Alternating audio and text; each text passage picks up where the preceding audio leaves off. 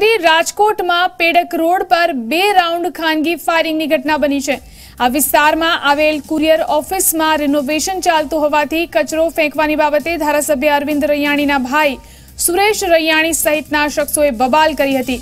બબાલમાં pipe અને ધોકા વડે હુમલો કરતા એક વ્યક્તિને ઈજા થતા સારવાર માટે ખસેડાયા છે. આ સમગ્ર મામલે ક્રાઇમ બ્રાન્ચ અને બી ડિવિઝન પોલીસે સીસીટીવી ફૂટેજ ચકાસવાની તજવીજ હાથ ધરી છે. તો ખાનગી ફાયરિંગની આ ઘટના બની છે રાજકોટના પેડક રોડ પર. રાજકોટમાં બે રાઉન્ડ ખાનગી ફાયરિંગની આ ઘટના બની છે.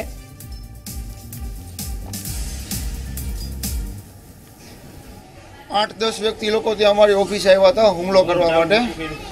અમે બહારથી આવ્યા ત્યાં.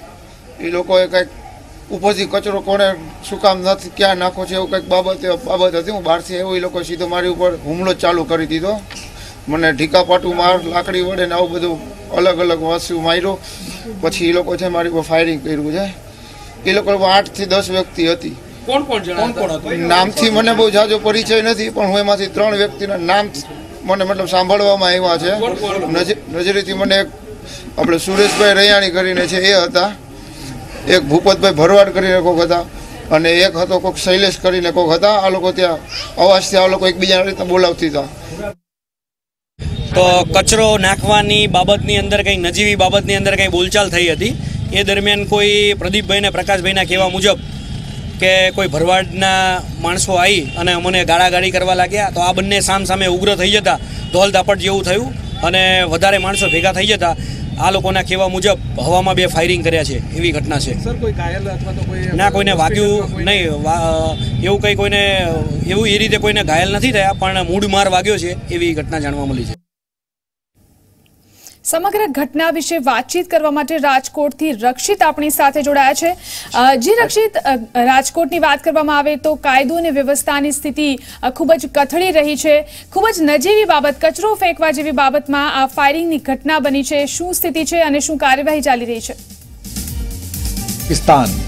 યુદ્ધ મેં હમસે જીતા હૈ ક્યા? રાજકોટના પેડક રૂપડે કાંગરિયા પેઢીની જે દુકાન આવેલી છે, ત્યાં આગળ રિનોવેશન કામ ચાલતું હતું. જ્યાં આગળ કચરો ફેંકવાની બાબતે છે તે વ્યક્તિ ઉપર છે તે હુમલો કરવામાં આવ્યો છે. આઠથી દસ લોકો જેટલા છે તેમના દ્વારા હુમલો કરવામાં આવેલું ફરિયાદી જે ઇજાગ્રસ્ત છે તેમના દ્વારા જણાવવામાં આવી રહ્યું છે. જે રીતે વાત કરવામાં આવે તો જે રીતે સમગ્ર મામલાને લઈને ટોળું જે એકત્રિત થયું હતું તેમના દ્વારા એવું પણ કહેવામાં આવે છે કે ત્યાં આગળ બે રાઉન્ડ જેટલા હવામાં ફાયરિંગ પણ કરવામાં હતા આપણી સાથે સમગ્ર મામલે વાતચીત કરવા ક્રાઇમ બ્રાન્ચના પીએસઆઈ સોનારા સાહેબ ઉપસ્થિત છે. સાહેબ, ખાસ કરીને આખો મામલો શું છે? અહીંયા પેડક રોડ ઉપર આંગડિયા પેઢી આવેલી છે. પ્રકાશભાઈ પટેલ અને પ્રદીપભાઈ પટેલની. ત્યાં આગળ એના બોક્સોને એવું પડી રહ્યું હતું. એમાં નજીવી બાબતમાં કંઈક બોલચાલ થઈ હતી. તો ઉશ્કેરાઈ અને ત્યાં આગળ ઢીકાપાટુનો ઢીકા પાટુનો માર એવું મારવાની ઘટના બની હતી. અને એ દરમિયાન આજુબાજુના કહેવા મુજબ કે હવામાં બે ફાયરિંગ કર્યા છે, એવી ઘટના સામે આવી છે. અને હાલ પોલીસ દ્વારા આજુબાજુના જે ઓફિસોને છે, ત્યાંથી સીસીટીવી ફૂટેજને એવું લઈ અને આવ્યા છે. હાલ અમે અહીંયા સિવિલ હોસ્પિટલ ખાતે છીએ.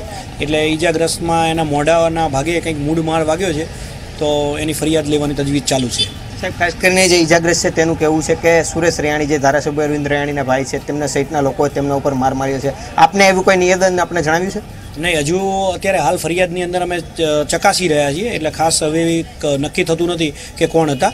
અજાણ્યા ઈસમો કેમ કે આ પ્રકાશભાઈ અને પ્રદીપભાઈ પણ જાણતા નહોતા કે કોણ હતા. એટલે અત્યારે વાતચીત ચાલી રહી છે કે કોણ છે, શું છે, પોલીસ આગળ તપાસ કરશે.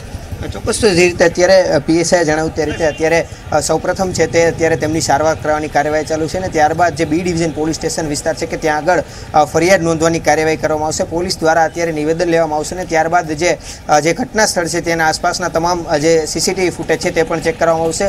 હકીકતમાં ફાયરિંગ થયું છે કે કેમ તે અત્યારે સવાલ છે. જે રીતે લોકોમાં ચર્ચા છે કે ફાયરિંગ થયું હતું અને જે ઇજાગ્રસ્ત છે તેઓનું પણ કહેવું છે કે બેથી ચાર જેટલા રાઉન્ડ છે તે ફાયરિંગ કર્યા. પરંતુ ખરેખર ફાયરિંગ થયું છે કે કેમ તે અંગે પોલીસ દ્વારા તપાસ હાથ ધરવામાં આવી છે. જી રક્ષિત આભાર. સમગ્ર જાણકારી